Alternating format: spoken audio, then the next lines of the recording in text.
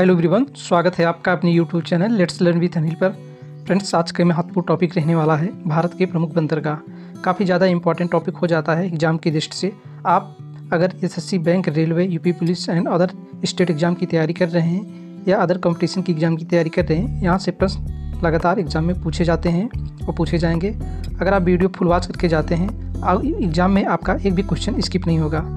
Friends अगर आपको video अच्छा लगे तो वीडियो को लाइक अवश्य कीजिएगा। चलिए शुरू करते हैं क्वेश्चन से। भारत का बंदरगाह, भारत के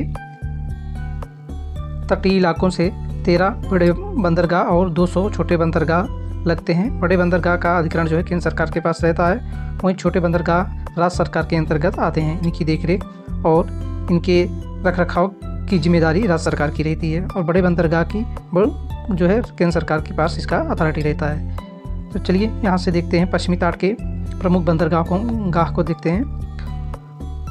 पश्चिमी तट के प्रमुख बंदरगाह हैं। कांडला बंदरगाह गुजरात में स्थित है। नहावा सोवा बंदरगाह महाराष्ट्र में स्थित है। मरमा गोवा बंदरगाह गोवा में स्थित है। तथा मैंगलोर, कर्नाटक में स्थित है। और कोचीन बंदरगाह केरल में स्थित है। मुंबई बंदरगाह महाराष्ट्र में स्थित है। वहीं बात करते हैं पूर्वी तट के बंदरगाह की। तो पूर्वी तट के बंदरगाहों में हम देखते हैं इन्नौर जो बंदरगाह है, तमिलनाडु में स्थित है। विशाखापट्टनम बंदरगाह आंध्र प्रदेश में स्थित है और तूतीकोरन बंदरगाह तमिलनाडु में स्थित है। वहीं चेन्नई बंदरगाह तमिलनाडु में स्थित है।